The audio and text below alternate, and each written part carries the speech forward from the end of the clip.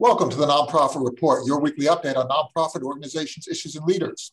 I'm your host, Mark Oppenheim. And today we will talk about rainforests with guests Suzanne Pelletier, Executive Director of the Rainforest Foundation US, and Ginger Cassady, Executive Director of the Rainforest Action Network. So, thank you both for joining us. I'm so happy to be talking about the rainforests. You know, we see um, images, rather disturbing images of uh, deforestation in the rainforests, uh, some of the most uh, lush environments that we have on this planet. Uh, but I'd like to start off really talking about uh, rainforests and the extent of rainforests because we tend to associate rainforests with one area. We, we tend to associate rainforests with the Amazon. We also um, tend to associate rainforest with one type of climate and one type of, of uh, vegetation, one type of geography. But that's not really what rainforests are on this planet Earth. Ginger, could you start us off with just sort of an overview of what a rainforest is and where they are located? Yeah, absolutely. Thanks, Mark. Thanks for having us. Um, yeah, rainforests are some of the most biologically diverse ecosystems in the world. And when I talk about, you know, there's different types of rainforests. There's coastal temperate rainforests when we look at the Pacific Northwest, and then there's tropical rainforests when you talk about the Amazon. It's in the southern hemisphere of the earth, and I like to say our tropical rainforests kind of hug the lower part of the earth. And you know, they're one of the most biologically diverse ecosystems that are really critical to not only stabilizing our climate, but also providing the oxygen that we you know breathe every single day. And you know, one thing about tropical rainforests is you know they're some of the most biologically diverse ecosystems that not only provide you know homes for thousands of plant animal you know animal species, they're also home to thousands of indigenous communities that really rely on these ecosystems for their livelihood. So tropical rainforests and you know just rainforests around the world are really critical, you know, for not only stabilizing our climate, but supporting our everyday lives. So um, it's, you know, why Suzanne and I do the work that we do is protecting these really critical ecosystems, especially when we're facing one of the biggest crises of our time, you know, climate change. So um, tropical rainforests are one type of rainforest, but they're also temperate rainforests, right, Suzanne? Yes. Um, and, you know, one of the things that defines a rainforest is a lot of rain. Uh, which so when you think about you know the the forests in the temperate areas, the Pacific Northwest, Americans are familiar with. There's forests that have a lot of rain. Like in the tropics, it's over 100 inches of rain a year. Um, so there are forests um, in in the United States, in the Pacific Northwest and Canada. So in that northern belt, you know, Ginger talked about that belt around the middle in the tropics. There's also you know um, rainforests that are in northern climates as well that are in temperate areas. And talk a little bit about the cycle that engenders the rain, because uh, one of the things that that we need to really come to grips with is that cycle that mm-hmm. creates the rain and that environment that uh, creates the home for various species, mm-hmm. flora and fauna. That cycle can be broken by human beings. Right.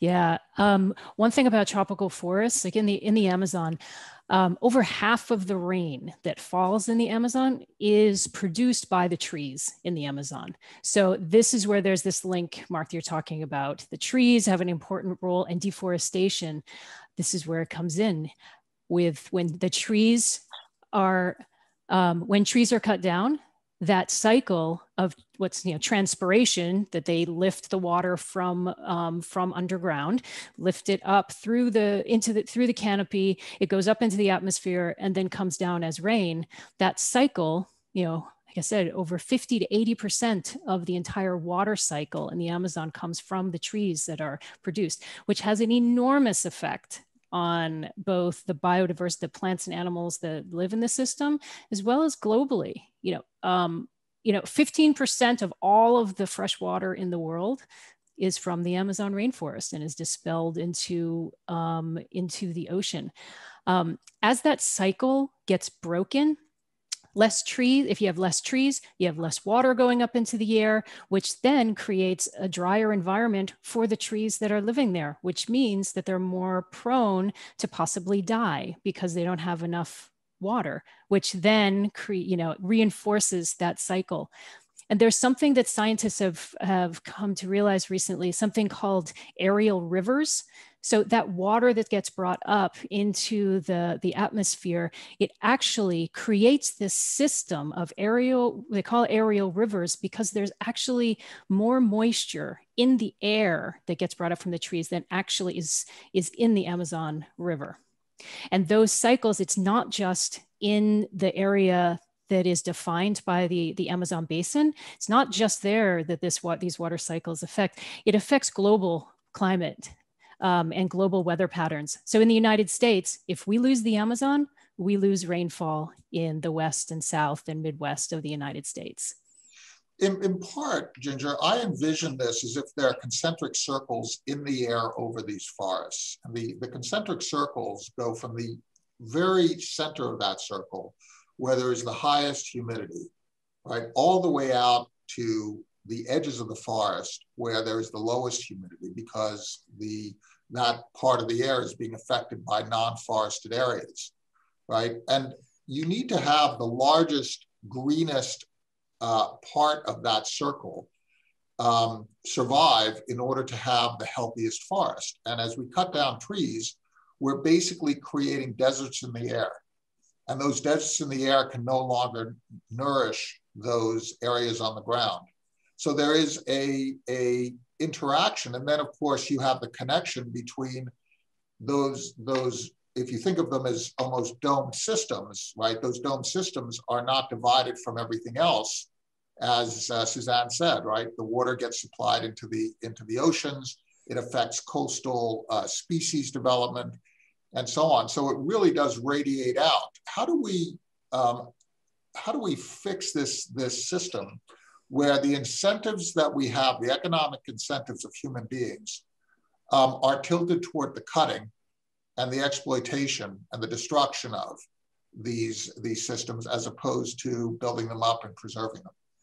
Absolutely. I mean, they're you know tropical forests are so critical. Forests around the world are critical with stabilizing the, the climate and they provide these kind of uh, natural services that are critical not just you know in the you know the amazon but also other big tropical forest regions like in the in the congo basin of africa and also you know southeast asia and indonesia which are the three largest tropical forest regions in the world. And when we you know create unstable you know when there's instability in the in the in the you know the ecosystem and you start to see you know deforestation rates you start to see significant drought and things that are impacting you know other parts of the world. And so that's why it's so critical to really look at what are the key drivers of deforestation you know and i think one of the things that we really focus at our organization are who are the biggest financial institutions that are behind driving deforestation infrastructure? And who are the biggest you know brands that are out there biggest you know corporations in the commodity sector that are also driving deforestation. And you when you look at it you really have to really follow the money and figure out how do we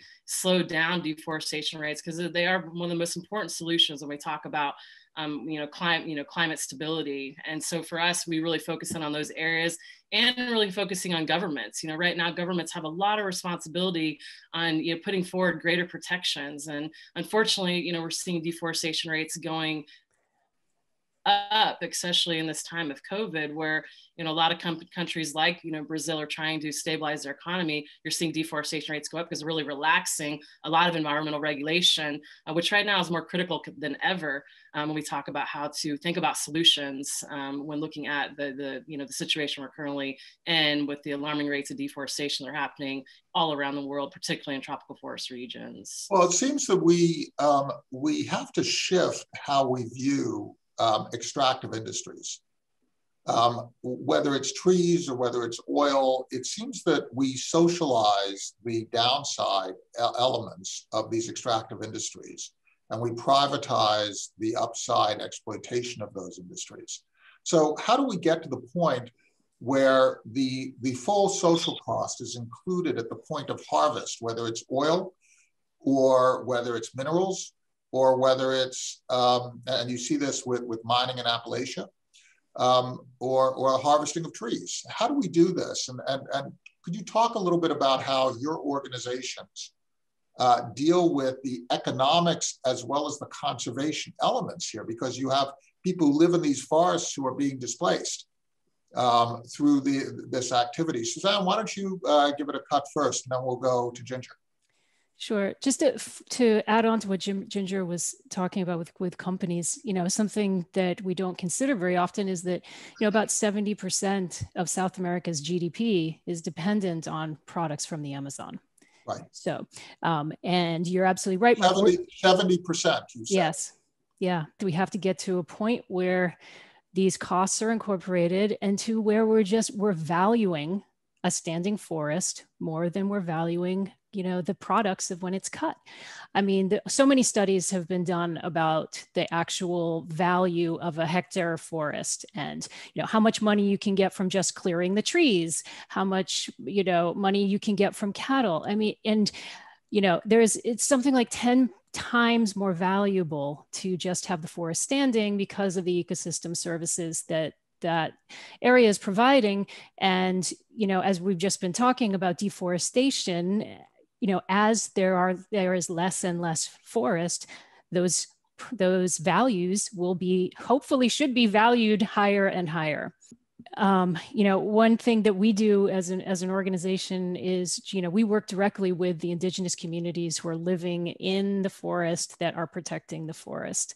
Um, and you know, from what we see, you know, we focus a lot on land rights for Indigenous people because the data shows that where Indigenous people, Indigenous peoples control about a quarter of the Amazon. And in the area where they control, deforestation rates are about a third of what they are on other lands. So working on give, you know, helping indigenous communities to get their their land rights is a really cost-effective solution to promote and um, protect forests and stop deforestation. So you that's know, one, one, of the things, things that, that, that it seems to me is that uh, the environmental movement has really been very short-sighted for a very long time. The environmental movement, particularly in the United States, has been um, largely white folks who look at environment, the environment, and from their position of relative uh, wealth, um, uh, they basically say, this needs to be preserved, right? Comes out of the science, comes out of a, a, a heartfelt convic- uh, conviction. This whole issue of providing voice to indigenous peoples was really an afterthought.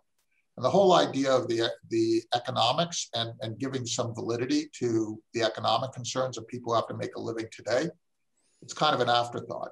I, I think we're kind of growing up, aren't we, it, it, you know, as a sector. And we are trying to adjust our own modes of operating, thinking, staffing, uh, boards, interacting with, with people locally. Uh, Ginger, how has that affected you as you have you as you've looked at your operations? You've tried to adjust. It's been quite a, quite a humbling experience that all this effort has not had the results that you anticipated. You're changing the way you're operating now, right? Absolutely. I mean, I think everyone is. It's it's you know going back on suzanne's point it's like at the end of the day we need to acknowledge the kind of you know the colonialistic mindset that's you know been put forward to create a lot of the land management that's now managing our forests you know all around the world. And if we don't you know give uh, the land rights back to the indigenous communities that are you know that have been there for you know hundreds of years you know that, that's really really key and critical. And that's something that when we're dealing with corporations i mean free prior informed consent is one of the key things when looking at how lands should be managed. And indigenous and frontline communities are actually the best stewards of land. And you see a lot lower levels of deforestation happening in, in key regions. But when you look at you know a lot of uh, the infrastructure that's been created a lot of those those costs are not you know put into the equation especially with a lot of the big corporations. And an example that i'll talk about is like the palm oil expansion in indonesia where for decades you know the, the real cost of palm oil expansion palm oil you know, expansion has not been included as far as the labor costs that goes into you know exploiting you know the area um, to the land costs and things like that. And so one of the things that RAN is really focused on is centering really customary land rights and first acknowledging whose land you know people are operating in how governments can shift their patterns and also demanding that you know those land rights are acknowledged and really acknowledging the not just the environmental costs but the human rights costs when you're you're talking about you know a broader e- ecosystem and the impact that's happening in that region. As far as RAN organizationally you know yeah we're doing a, a lot of work looking at you know uh, systems of oppression and ways that we can really change our practices and really trying to diversify our approach but at the same time making sure we're really you know empowering and and you know supporting you know groups on the front line and really shifting a lot of resources and energy into areas where it's most needed because i think that that really hasn't been acknowledged for many many years when looking within the environmental movement. We really need to center the communities that are most impacted and you know hand the mic as i love you know folks say to folks that are really you know dealing with the impact overall. So that's a really important issue that we all need to be addressing and it is critical um, not just in the nonprofit sector but across every single sector are you shifting board membership and staff membership to reflect those values? Absolutely. You know, we, you know, have more representation of folks in regions that we're working in, especially in particular. A lot of our focus is in Indonesia um, because palm oil has become such a big, significant driver of deforestation, as well as making sure we have staff in those regions that can speak to the issues at hand. That's really, really important. Um, if I could add, add, Mark, I thank you for bringing up that issue about traditional conservation. And um, I think there's been a lot of awareness in the last five years or so amongst um, conservation organizations. There's been a lot of talk. And if you look at the, the language that the big conservation groups are using, it's people focused. There's you know, a lot of discussion about indigenous peoples, um, but there's a lot to make up for. Um, and you know, there's been over 100 million people have been displaced around the world because of conservation over the years 100 million people. Um, and so i'm hopeful that there's a lot more discussion and and language about it. Um, but we still we do have have a long way to go.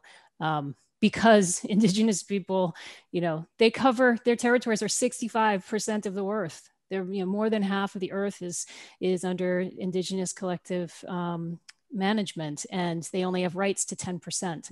So I think there's a lot of opportunity for this mindset to change and then for us to really put our policies into place that reflect that data. One of the things that strikes me is that it, is that we're we get involved in this specious argument about um, about um, uh, the opposition, whoever we are, right? If we're right leaning, left leaning, or you know, indigo, whoever we are, as the opposition is getting a handout or getting government support or whatever it is. What's really happening is that we're all struggling for our interests and we don't necessarily listen to the interests of others enough. We just took a poll and um, uh, two of the polls are really interesting. The third one's coming up. Uh, the, the first uh, uh, poll was, what is the most important driver in efforts to preserve rainforests? One is rich in biodiversity. The, the, um, rainforests sequester um, carbon and slow uh, climate change um, got the most votes, 71%. And uh, indigenous people live in rainforests and their land rights should be respected. That was 18%. So we have those three different elements. Um, but really, when it comes right down to it, um, the, the marketing of carbon to create that sense, that's being highly successful. But really the answer is, is all of the above, right? It's, it's biodiversity, it's, it's carbon sequestration, it's respect for fellow human beings. And then we asked the second poll, which was really interesting. Uh, I'm sorry, we went, we skipped over the second, we somehow got to the third.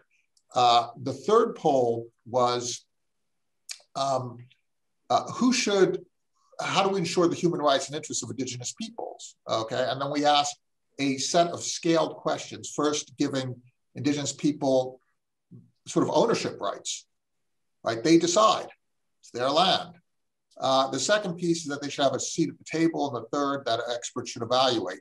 67% felt that, that, um, that at least a seat at the table, and 27% actually felt that there were ownership rights that indigenous people actually decide on, on how the land is used.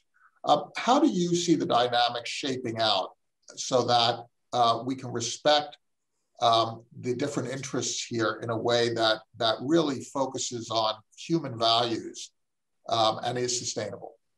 Suzanne, you want to give a give a start to this one?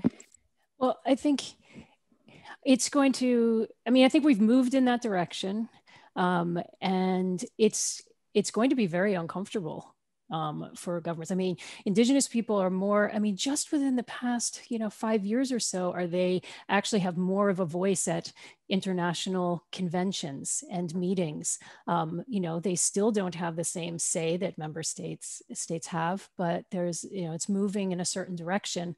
Um, I think you're, you know, you're right about climate change is all of a sudden there's renewed attention on forests and the stewards of those forests. It's the issue that in my career, it has brought up this issue. It's raised awareness more than any, anything else. Um, and so, you know, I think just the more and more that we embrace the facts and you look at the that data i know data doesn't necessarily move hearts but i you know i would hope that you know now we're entering a period of more fact-based um, policy development and that we see that if we are going to stop the climate crisis, we have to stop deforestation. And the only way to do it if cost effectively is to uh, support the indigenous people that are managing those forests and make sure that they get the support they need, that money for um, forest protection does not stay at the international and national, you know, in the capital of the countries where the deforestation is happening.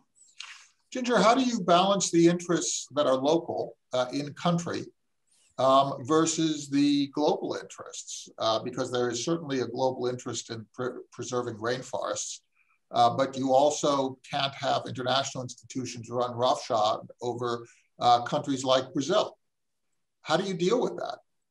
Yeah, it's it's definitely complicated, but it's you know it's it's critical that indigenous you know communities and people on the front lines are at the decision making table and that we create and demand that space is, is always there. And i think that you know that's why you know international corporations and financial institutions who have a really you know focus interests in these other regions that they acknowledge one the customary land rights of communities on the front lines and as well as are open to making sure they're at the table when making decisions around the way that they're investing the way they're do, doing business that there's some type of consultation that goes along with the process. And that that is so critical. And at the same time if those steps aren't happening be willing to pull their business out of those areas that are have a large you know risk not only to the communities on the ground but also reputation financial risks to the companies and i think we've seen that in brazil we see that in you know southeast asia and so you know that's kind of where you know our organization really demands and pushbacks on corporations that are not centering the human rights and environmental costs at the forefront when going into these type of you know practices and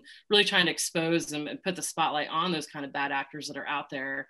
Um, and that's really you know what goes into a large kind of markets campaign to really apply that pressure making sure that those voices on the ground are really heard and that they are part of the decision making process. So that's that's a really interesting point. So it's not just the, the business side. It's not just the right side, it's also human perceptions, right?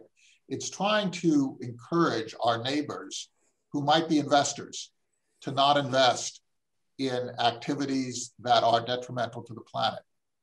Um, it's, it's trying to uh, encourage ourselves to not buy uh, wood products that might come from uh, places that are the result of deforestation right? It's, it's the little things and we have to change our behaviors. We have to change our attitudes, right?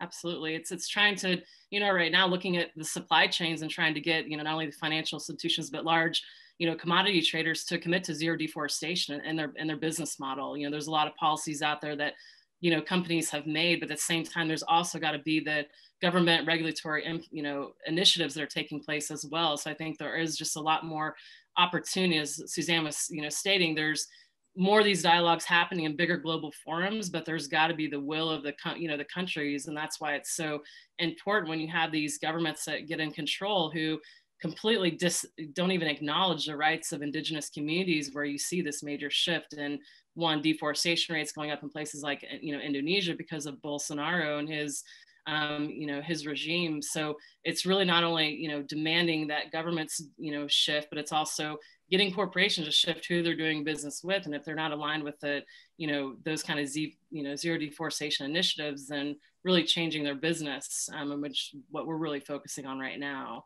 um, through our you know our markets work. Bolsonaro is, is brazil you meant. Absolutely yeah. Bolsonaro the president of brazil who under his you know um, presidency you know you've seen deforestation rates really go through the roof because he completely does not acknowledge indigenous you know land rights. Um, um, he's a very racist president and has a very top-down approach, and so I think that he kind of has that old school, you know, way of looking at things, and and that's something that we just have to really shift and demand that companies and banks don't do business with him as long as you know he's um, really exploiting not only the people but the resources in the Brazilian Amazon. In terms of uh, your program, Suzanne, could you just talk a little bit about some of the uh, most important programs that you are implementing to create change mm-hmm. and to preserve? Because you know, while we're talking, trees are being cut down. Yeah. Right, deforestation is progressing. Uh, we haven't really slowed the pace, and as a matter of fact, given the fact that the uh, these rainforests are shrinking, uh, in proportion to the size of the rainforests, we seem to be seeing an acceleration. Uh, talk about the most important investments that you're making mm-hmm. to change that dynamic. Okay. Um, two things. One that we've done since day one as an organization for over 30 years is focus on helping communities get their land rights. So that's just, yeah, as we've been talking, because we know it works, we have an expertise in it. So we're working with communities um, in many, several different countries across the Amazon to push for their rights where there's still claims that are outstanding that um, and then the second thing that we've been, um, what we're doing a lot more now, and we see more, as, a lot of the future of what we do is community based monitoring of forest destruction um, because so much illegal activity, so much deforestation is illegal. The vast majority of, Ill- of deforestation in the Amazon is illegal. Um, and a lot of that just goes unseen and so here, and it happens in indigenous or near indigenous communities. So what we're doing is um, empowering, training um, indigenous technicians and local community members to monitor what's happening on the ground, monitor the deforestation. There's a lot of new technological tools now with remote sensing data and deforestation alerts and smartphones that are cheap and easy to use. Um, and so um, there's an we've developed a system where in local communities to monitor what they're doing and, and integrate that into what they know works. Their traditional monitoring system their traditional governance system. So by integrating those two things we've found that they can decrease deforestation even more. So that's a big push for what we're doing as an organization to scale that across the amazon. Ginger is it possible to in any in any way reforest areas? Um, yeah, it's not, you know, there's definitely rainforests are very resilient. They can bounce back. There's a lot of in areas that we've worked in in Southeast Asia where they've, you know, pulled out, you know, illegal palm oil plantations and the forest has, you know, come back, you know, after a few years. Um, but it's, uh, we don't, you know, keeping forest standing is the best solution instead of just going in and creating a monoculture, just replanting trees. Um, so yeah, I think that that's the, the top goal is to keep the original intact forest there. Um, but yeah, tree planting and stuff, you know, is I think good in urban areas. But as far as replacing a, a, tropical rainforest, once you impact that ecosystem, you know, you can't really return to its original state. But it, it, it is pretty resilient. So that's why you know we I think both our organizations are so forced with you know focused on keeping those original forests intact and keeping forests standing is the the number one you know most important solution mm-hmm. i would just add to that ginger that we also you know focusing on forest protection that um, but knowing that because we've reached a crisis point across the world that we do have to replant as well and you know whether that's our organizations that are going to be doing that on a massive scale that's going to actually make a difference not sure we are starting to do that with indigenous communities um, but we know it has to be part of the solution also we just well, lost too much Suzanne, I'll let you have the last word. Uh, Ginger Cassady, thank you so much for uh, describing the work of the Rainforest Action Network. So important. And Suzanne Pelletier, Executive Director of the Rainforest Foundation uh, US very important work, and it's really important that we all get engaged. On that note, um, as, as, I said on Thursday, we're, we're going to be talking about domestic violence. Um, what we're trying to do in these programs is to get Americans engaged in the things that actually affect our daily lives. Um, we all spend a lot of time uh, being entertained by uh, various programs, and the news is all about politics and violence and so on. But there are so many things, whether it's education uh, of, of, children or our neighbors uh, living in hunger or homelessness or environmental conservation, that we all need to get involved. And we figured half an hour uh, twice a week was a great way of sort of sharing information from people whose passion, like you, Suzanne, and like you, Ginger, and, and your and your folks and your supporters, whose passions run in in particular directions, and we can all benefit from them. That's the nonprofit report. Thank you both for being part of the show, and we'll see you all uh, next Thursday. Take care. Thank you.